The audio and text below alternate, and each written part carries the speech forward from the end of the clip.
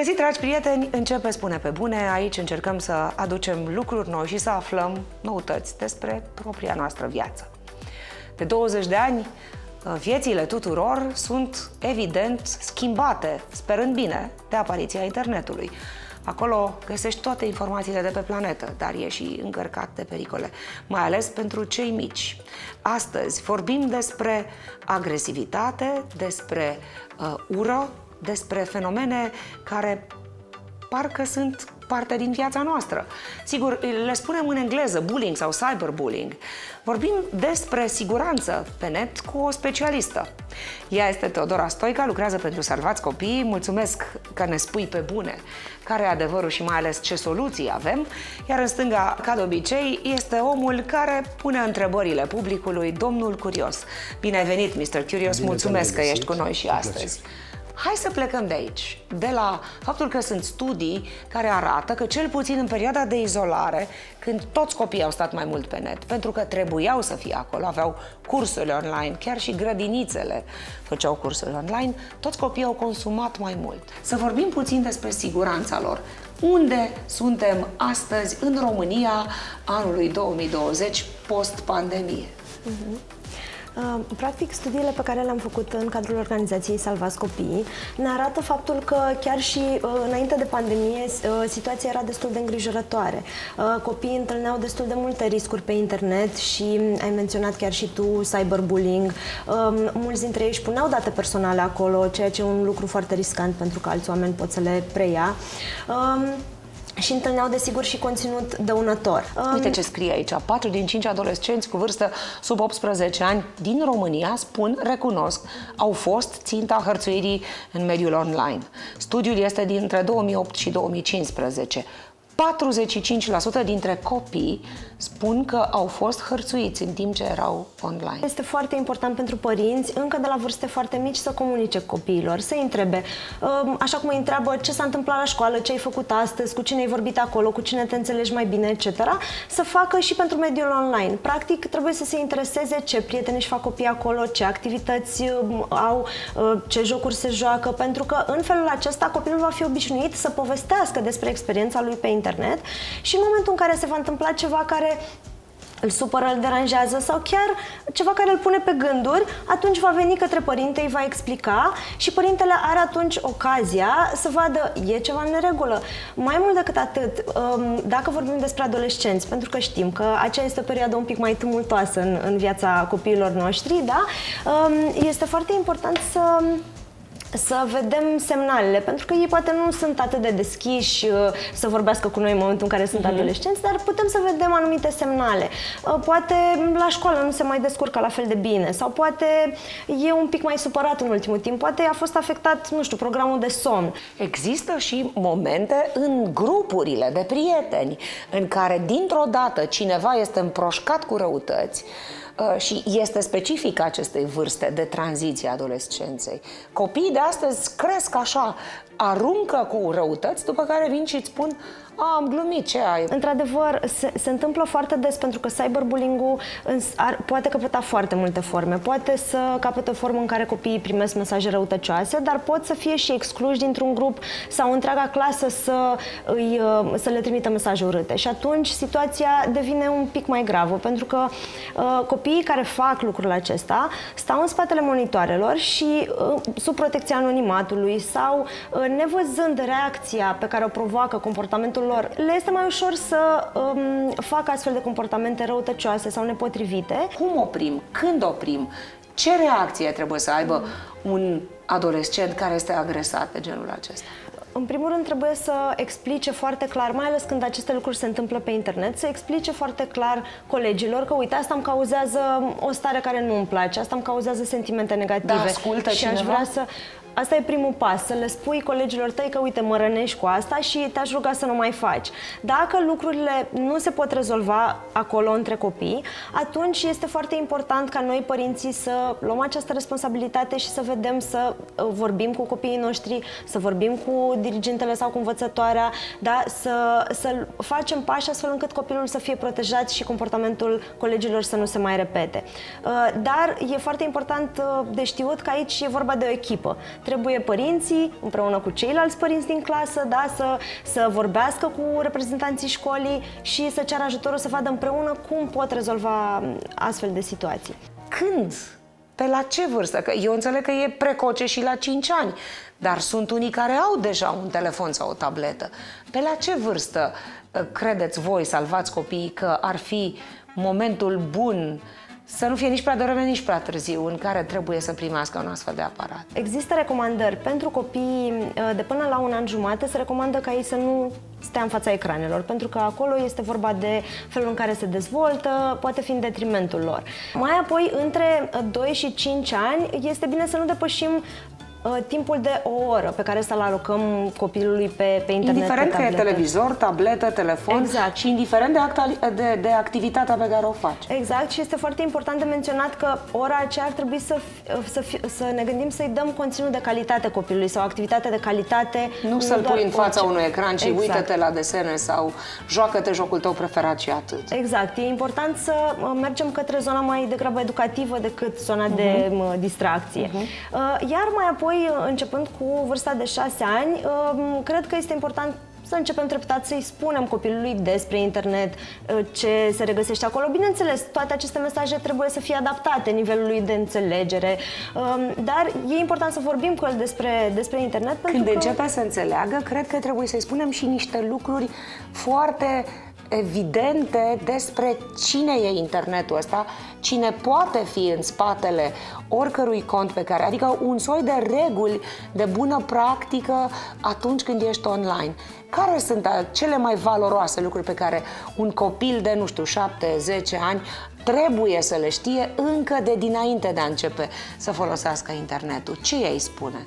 Cred că cel mai important ar fi să îi spunem copilului că internetul este un loc public. Pentru că în momentul în care, mai ales la vârste mici, copilul intră pe internet, el nu-și dă seama că acolo e un spațiu public în care orice postează, orice vede, practic este înregistrat sau poate fi preluat copiat de alții. Și atunci ăsta e un prim pas, uh, dar mai apoi, uh, într-adevăr, pe măsură ce ei cresc și au conturi pe rețele sociale, atunci e foarte important de menționat că acolo pot intra în conversații cu diverse persoane, pot primi mesaje care uh, pot, pot să-i deranjeze. Și atunci trebuie să învățăm cum să facă față acestor situații, cum să blocheze anumite persoane, cum să nu adauge în listă persoane necunoscute, cum să vină către noi în momentul în care întâlnesc acolo o problemă și nu știu cum să o gestioneze. Dar asta e o oportunitate foarte bună în care noi să încurajăm acest comportament și să zicem bravo, mă bucur foarte mult că ai venit către mine, hai să vedem cum putem împreună să rezolvăm această situație.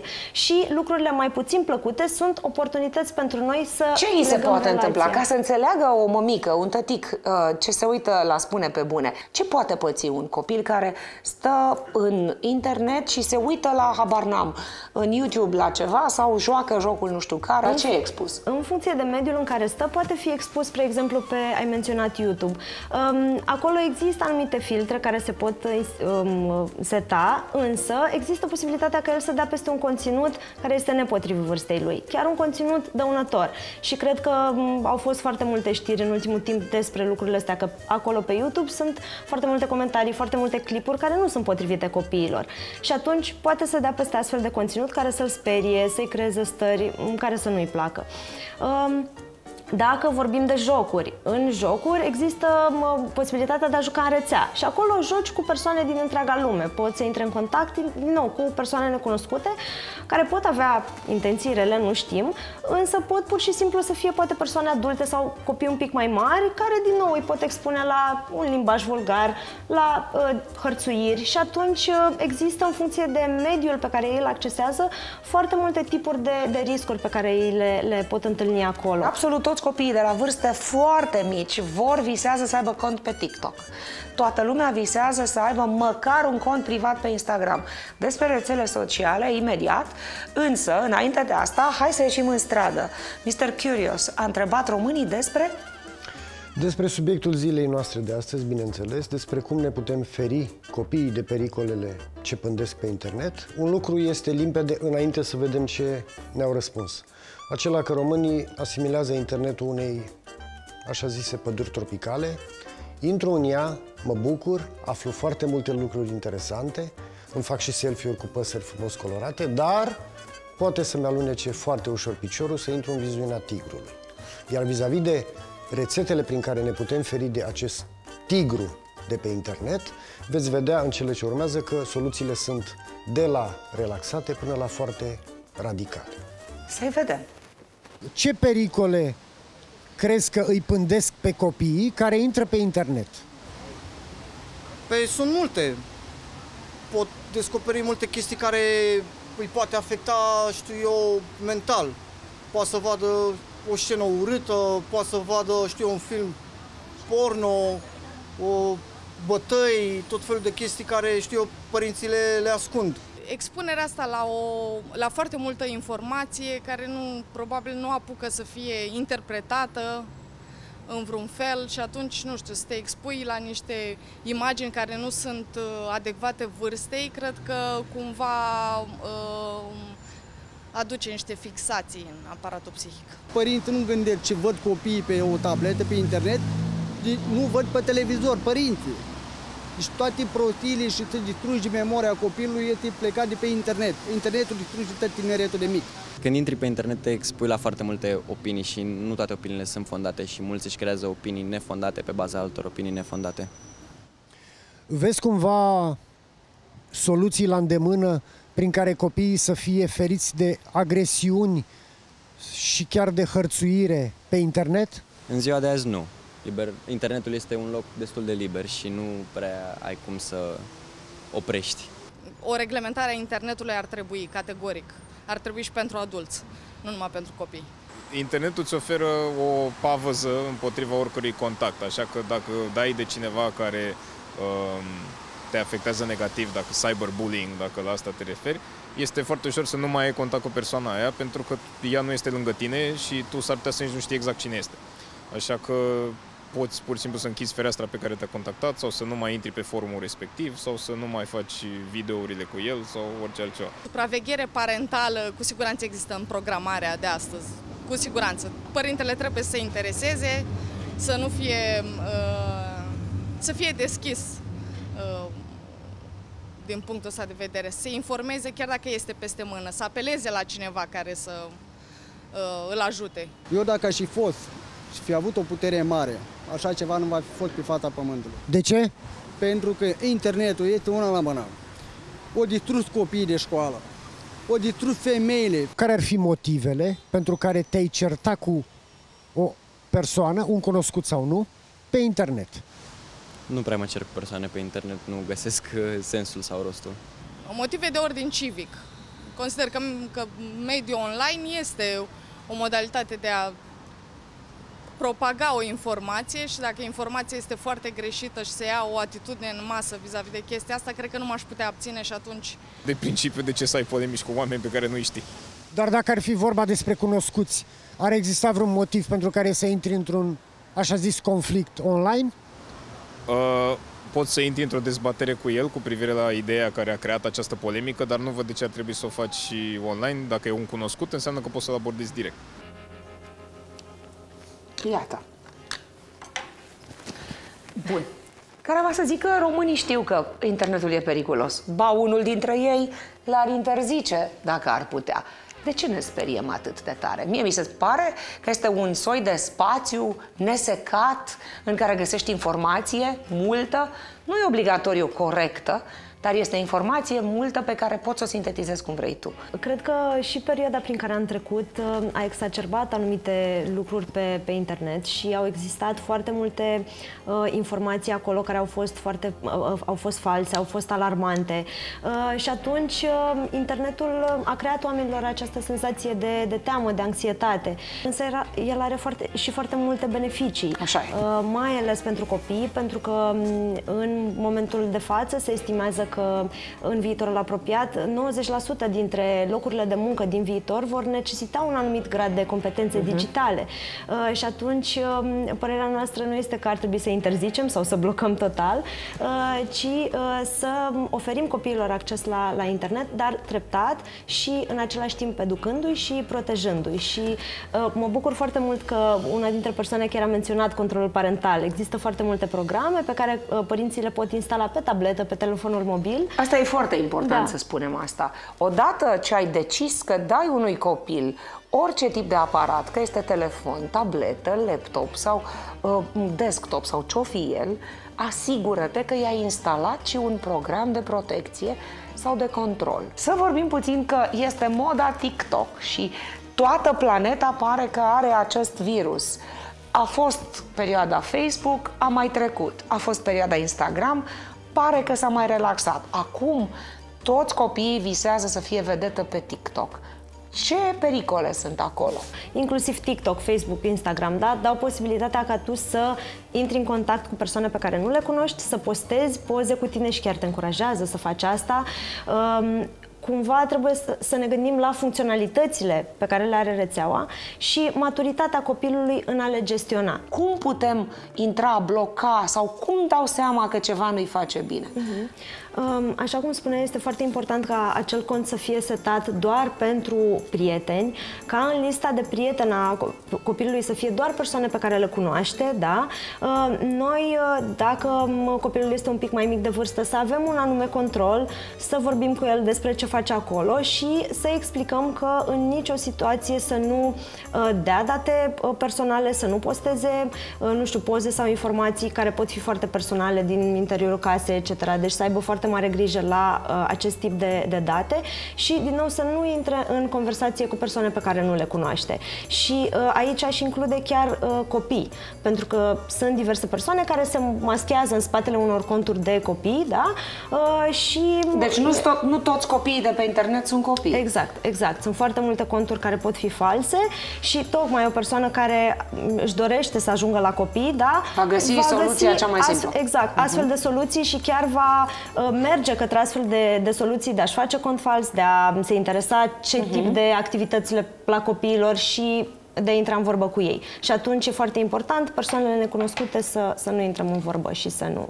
Care este reacția dorită atunci când un copil se întâlnește cu un mesaj de ură sau de violență? Este foarte important să-l învățăm să blocheze astfel de mesaje, să le raporteze și în același timp să vină către noi, către un prieten, către un membru al familiei. Să vorbească. Să vorbească, pentru că um, pe lângă ideea de a identifica o soluție în cazul în care situația este mai gravă, e foarte important ca el să nu uh, rămână cu acea emoție negativă, ci să vină către noi și să vorbească tocmai pentru a se descărca și a vedea cum să discutăm despre răutățile astea pe internet și cum le putem ge- gestiona cumva pe, pe interior. Poate internetul să-i facă pe copii să devină niște agresori? Pot fi doar uh, din, din greșeală să facă acest lucru, să nu-și dea seama că au, făcut, uh, că au avut un comportament răutăcios sau există și situația în care copiii, tocmai pentru că în viața lor de zi cu zi, poate situația familială nu este foarte bună, da? poate au întâmpinat um, violență um, sau agresivitate în... Um, Au fost mediul- martori sau au exact. fost uh, victime? Sau... Exact, în cadrul familiei sau la școală, atunci ei merg pe internet și replică acest comportament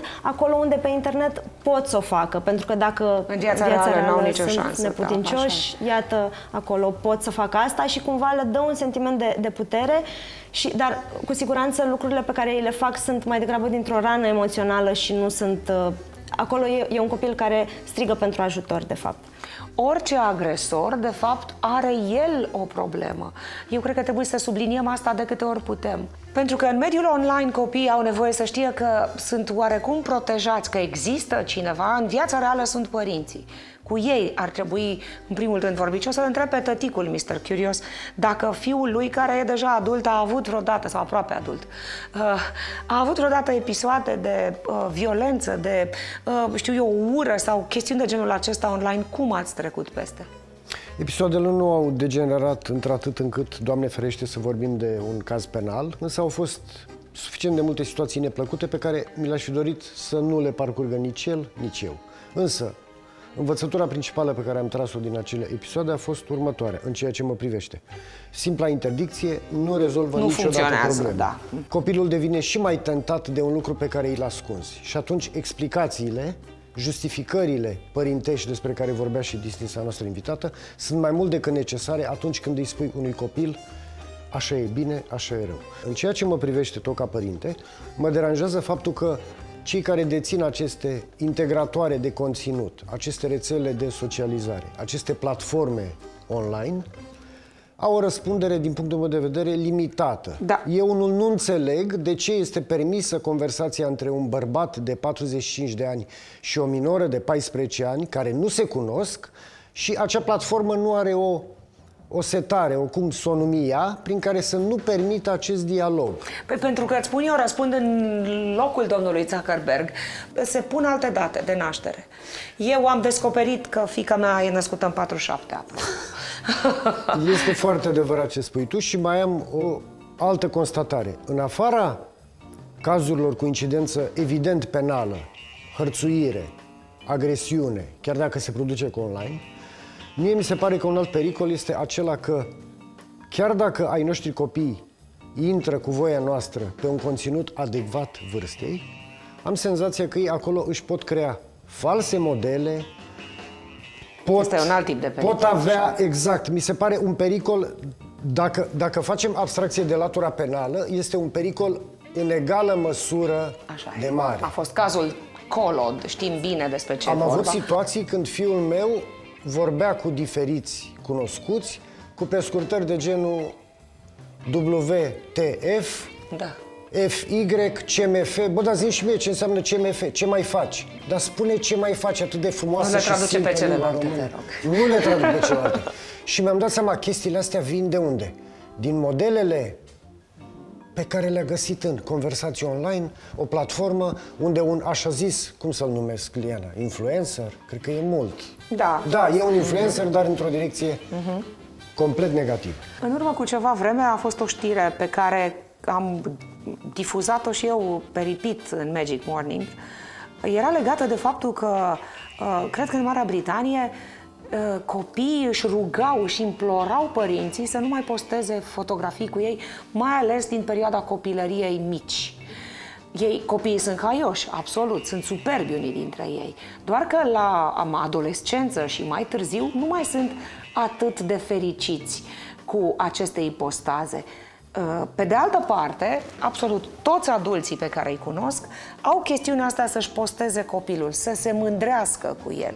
Aici e o discuție un pic mai amplă și o să încep prin a spune că m, e foarte important să ne gândim în momentul în care postăm o poză cu copilul nostru și el este micuț, nu poate protesta, nu poate să ne zică dacă e de acord sau nu. Uh, Să ne gândim că este dreptul lui la imagine și că la un moment dat el va crește, va ajunge adult. Și că fotografia poate rămâne acolo. Poate rămâne acolo și uh, cu siguranță va rămâne acolo, pentru că de multe ori când postăm pe internet, din nou, pozele pot fi preluate, pot fi văzute de alții și atunci e, e periculos. Um, în al doilea rând, uh, mai ales în ceea ce privește pe copiii mici, noi nu recomandăm ca părinții să posteze poze cu ei, pentru că sunt f- multe persoane și asta e din experiența muncii noastre, um, care privesc altfel copiii acolo și folosesc pozele cu ei în alte scopuri. Și uh, s-ar putea ca o poză complet uh, nevinovată pe care noi am pus-o copilul nostru la botez, dau un exemplu, să ajungă în mâna unor persoane Da, care... dar cum îi, cum îi faci pe părinții mm-hmm. să înțeleagă că nu este despre mândrie, despre mm-hmm. bucuria de a fi tatăl unui copil sănătos, frumos și bine îmbrăcat? Este despre siguranța lui, despre cum să-i explici asta. Uh, Cred că cel mai bine e să găsim, uh, uite, poate o soluție între aceste două, da? Uh, Putem, desigur, să creăm albume care să, pe care să le distribuim doar prietenilor foarte apropiați sau doar familiei. Pentru că, desigur, uh-huh. e bine să, ca ei să vadă copiii să se bucure alături de noi. Dar în niciun caz postat uh, pe un profil public unde avem Da, e o toți competiție colegii și... care are mai multe love-uri, mai multe like-uri, mai multe știu. E o competiție ireală, nu, nu ajută la nimic. Da, a- Aș vrea să, să vorbim puțin, uh, dacă nu te superi, despre faptul că toți psihologii și colegii mei de la Thrive Global au un respect deosebit pentru această breaslă. Spun că în toate aceste aparate sunt difuzoare de lumină albastră și că lumina albastră este chinuitoare. De aceea ea ar trebui uh, nu neapărat exclusă, dar folosită cu limită. Nu este bine să folosim astfel de dispozitive înainte de ora de culcare, cu cel puțin ce? o oră, pentru că acea uh, lumină albastră um, uh, are același efect ca soarele. Practic, creierul nostru percepe că e încă soare afară în momentul în care stăm cu, cu tableta sau cu telefonul și provoacă în creier acea, acea reacție prin care ne spune, ok, trebuie să, da, să, încă să mai stăm. Așteaptă că, să vină exact, noaptea. să vină noaptea ca să dormim. Uh, și atunci uh, va afecta somnul copiilor și chiar dacă ei vor reuși la un moment dat să adormă, nu va fi la fel de calitativ somnul și asta poate, poate avea efecte foarte grave pe, pe termen mai lung dacă este, uh, se continuă acest... Aș vrea să vorbim puțin despre prea mult în viețile copiilor. Există o formă de dependență dată de, de online? Studiul nostru a arătat că un număr semnificativ, aș zice eu, de copii petrec foarte mult timp online. E un studiu care a fost făcut înainte de pandemie și, practic, ce a arătat este faptul că 27% dintre copiii cu vârste între 12 și 17 ani petreceau peste 6 ore online uh, într-o zi obișnuită de, Adică de școală. foarte mult. Foarte mult, exact, și procentul lor creștea la 48% dacă vorbim despre o zi de weekend sau uh, sfârșit de săptămână Ah. sau vacanță. Adică în weekend stau și mai mult. Pe Exact, adică cumva sunt mai mulți care petrec foarte mult timp acolo. Um, Ce a mai arătat studiul este că um, copiii care petrec peste 6 ore online, indiferent de dacă vorbim de zi de sfârșit de săptămână sau o zi obișnuită, uh, practic au fost mai, mai nemulțumiți de viața lor, mai nemulțumiți de relațiile pe care le au cu familia, cu prietenii. Pentru că tot timpul compară cu ce găsesc în online. Cred că e foarte valoros să nu ne mai comparăm cu viața perfectă pe care o au oamenii în online. Este doar visul lor, nu este realitate. Ce poți pune în locul tabletei sau În telefonului? momentul în care copiii sunt foarte mici și li se dă foarte devreme tehnologia sau pentru un timp mai îndelungat, ei sunt foarte stimulați pentru că acolo totul este colorat, totul se mișcă rapid. Și automat, pe măsură ce vor crește, viața reală nu, este, nu se întâmplă Nu totul. mai e interesantă. exact, nu e atât- nici totul- colorată, nici în viteză Exact. și nici pe departe atât de și palpitantă. atunci va exista această m, stare a lor în care vor fi pu- puțin mai nemulțumiți de acțiunile pe care le, le fac în viața reală.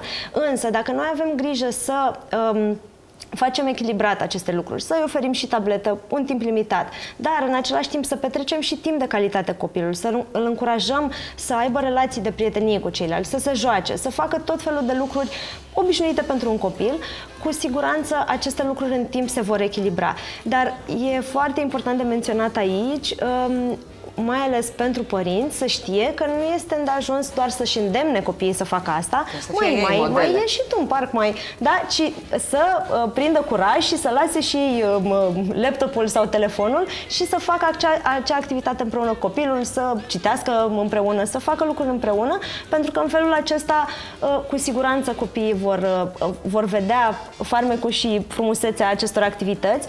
Și ce aș mai menționa este că, desigur, nu va merge din prima, adică să nu-și imagineze părinții că gata, au luat sfatul nostru și vor merge acasă, vor face asta odată și va funcționa, uh, ci trebuie să avem perseverență și să facem asta constant, astfel încât copiii să se obișnuiască și să vadă cât de bine e să, Pe să de altă facă parte, astfel a de circulat pe net un clip și o să spun pe scurt, cu mai mulți pă- copii întrebați, uh, uh, copiii pe de-o parte și părinții pe de-o parte, cu cine și-ar petrece o seară de neuitat. Părinții de toate felurile și culorile și pregătirile au răspuns cu George Clooney, cu nu știu care vedetă, nu știu care fotbalist, cu nu știu care uh, uh, om pe care l-am văzut la televiziune. 70% dintre copii au răspuns cu părinții mei. Faceți-vă timp pentru copiii voștri, oameni buni. Despre asta e vorba, despre a pune ceva. Internetul e minunat, este o resursă extraordinară, dar ca orice ciocolată, ea trebuie din când în când dozată. Vă mulțumesc din suflet și că vă Mulțumesc și uitați la noi. Vă rog să fiți în continuare cu ochii pe Magic TV și pe thriveglobal.ro dacă vreți să ne faceți o sugestie. Suntem aici, ne găsiți la info.thriveglobal.ro Îți mulțumesc mult de tot, Teodora. Vă mulțumesc Domnule și eu. Curios, sper că am ajuns la concluzia care Am trebuie. ajuns la concluzia care trebuie și m-am bucurat foarte tare când ați atins împreună un subiect și anume că și părinții postează conținut care în viața reală poate prelungi pericolele din online. Și vreau să spun doar atât. Dragi părinți, când plecați în vacanță, nu postați cu o zi înainte pe internet Happy, mâine plecăm în Mauritius. Pentru că la întoarcere ori puteți găsi casa numai bună de remobilat, ori puteți găsi o rudă care a plătit o sumă de bani reali unui avocat fictiv. Metoda accidentul. Despre aceste subiecte într-o altă emisiune. Deocamdată ne oprim aici să fiți bine.